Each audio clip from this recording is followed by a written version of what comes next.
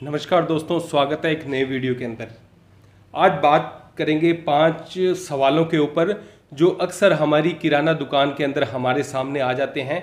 ये जो सवाल है, आज मेरे साथ बीते हैं और मैंने इसे जो नोटबुक के अंदर नोट कर लिया और सोचा आपके साथ शेयर करूँ, क्योंकि लोगों के साथ अक्सर ये प्रॉब्लम आती रहती है कि कुछ चीज़ें होती है, उसका जो कैलकुलेटर से किस तरीके से उसका जवाब निकाला जाए, कुछ प्रॉब्लम्स होती है, उनका कैसे जवाब दिया जाए तो मैं आपके साथ में शेयर करूँगा।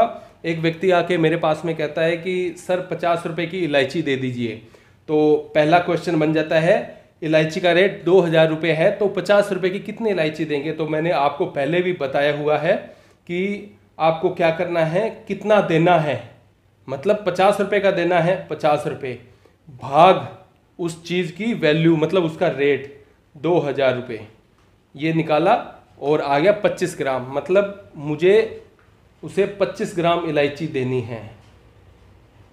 ठीक है? बिल्कुल आसान है। और भी कुछ ले सकता है वो बादाम, काजू, ड्राई फ्रूट, कुछ भी ले सकता है। अगर इस तरीके की कंडीशन आ जाती है किसी के साथ में तो इस तरीके से बिल्कुल सोल्व किया जा सकता है। कुछ नहीं, आपको कोई भी अंगुलियों पे गिनने की ज़रूरत नहीं है। बस कैलकुलेटर लिया और बिल्कुल एक स्टेप से मेज़र कर दिया और उसको वो सामान तोल के दे दिया।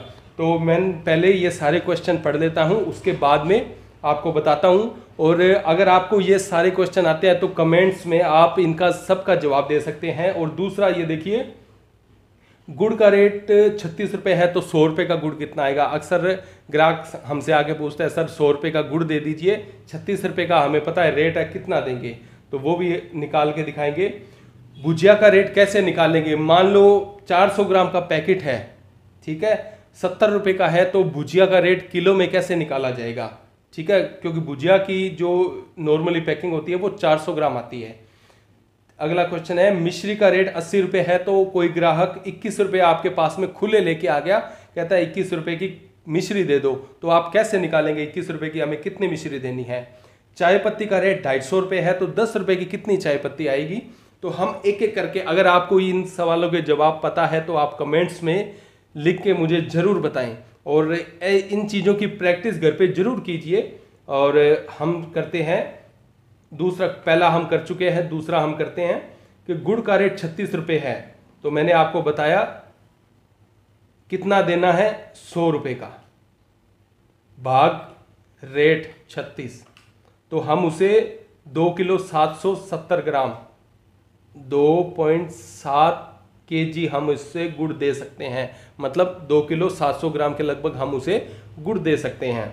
अगला क्वेश्चन है, बिल्कुल आसान सी इक्वेशन है, बिल्कुल आसान तरीका है निकालने का। अगला देखो, ये जो तीसरा क्वेश्चन है, उसके अंदर कंडीशनें बन जाती है। मान लीजिए आपके पास कोई एजेंट आता है, जो किसी भुजिया का एजेंट है बीका जी हो सकता है बीसी हो सकता है, वो कहता है कि, सर, भुजिया का रेट दो सौ रुपये किलो है।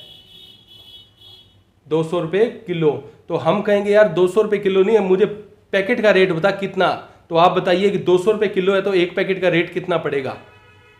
बिल्कुल आसान तरीका है। जब बात आती है भुजिया नमकीन के बारे में तो जब वो जितना रेट बताता है 200 उसमें भाग में 2.5 कर देना है। तो अस्सी रुपये किलो भुजिया का रेट हो गया। मतलब अस्सी रुपये हमें पैकेट आने का रेट हो गया। तो ये हुआ दो सौ रुपये किलो। मान लीजिए कोई व्यक्ति कहता है कि मतलब हम सत्तर रुपये किलो भुजिया है तो उसका किलो का भाव कैसे निकालेंगे? तो आपको क्या करना है? सत्तर गुणा दो पॉइंट पाँच। इस बार गुणा कर देना है दो पॉइंट पाँच से तो उस भुजिया का रेट हो गया वन सेवेंटी फाइव, एक सौ पिचहत्तर रुपये किलो। अब अगला क्वेश्चन है, कोई ग्राहक आता है कि इक्कीस रुपये का प्रसाद दे दीजिए मिश्री का, ठीक है? और अस्सी रुपये रेट है तो हम क्या करेंगे? इक्कीस भाग अस्सी, ठीक है? 260 ग्राम। तो हम उसे 260 ग्राम मिश्री दे देंगे।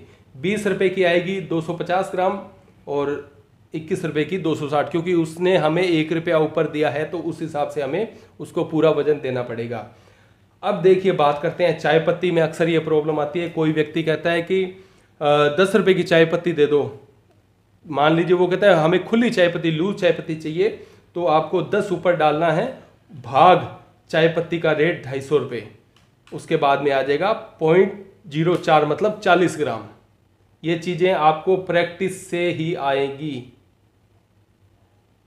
ये चीज़ें आप जब प्रैक्टिस करेंगे, इन तभी आप क्या कीजिए, घर पे बैठ के, किराना वाले घर पे बैठ के या जब भी आपको टाइम मिले, इन चीज़ों की ज़रूर प्रैक्टिस कीजिए, क्योंकि ये चीज़ें धीरे धीरे धीरे करते आपको बिल्कुल आसान हो जाएँगी और आपको जो कोई भी चीज़, कोई भी सामान मांगेगा, बिल्कुल आसानी से आप उसका जवाब दे सकते हैं। मान लीजिए कोई ग्राहक आके कहता है कि कुछ सत्तर रुपये की चीनी कितनी आएगी तो आप बिल्कुल आसानी से निकाल के बता सकते हैं। मान लो चीनी चालीस रुपये किलो है तो सत्तर रुपये की आप बता सकते हैं। कोई भी चीज़ पूछता है, कई बार ग्राहक लेता नहीं है, लेकिन तरीके से पूछ लेता है। मान लीजिए ग्राहक कहता है कि मुझे एक सौ की इलायची चाहिए, कितनी दोगे? तो आपको तरीका आना चाहिए, एक सौ की इलायची तो आप एक सौ बीस बिल्कुल आसानी से कैलकुलेटर लीजिए, एक सौ बीस भाग दो हज़ार कर दीजिए। उसको कह देंगे कि सर साठ ग्राम आएगी एक सौ बीस रुपये की इलायची। तो इस तरीके से आप बिल्कुल आसानी से, बिल्कुल इन तरीकों से रेट निकाल सकते हैं। तो मैं दोबारा सूत्र बता देता हूँ, कितना देना है। मतलब पैसे, जित, जितने का पैसे मांगा है ना, मान लो पचास रुपए की चीज़ उसने मांगी है, भाग रेट, उस चीज़ का रेट क्या है? दो हज़ार रुपये तो हम उसको इलायची कितनी देंगे?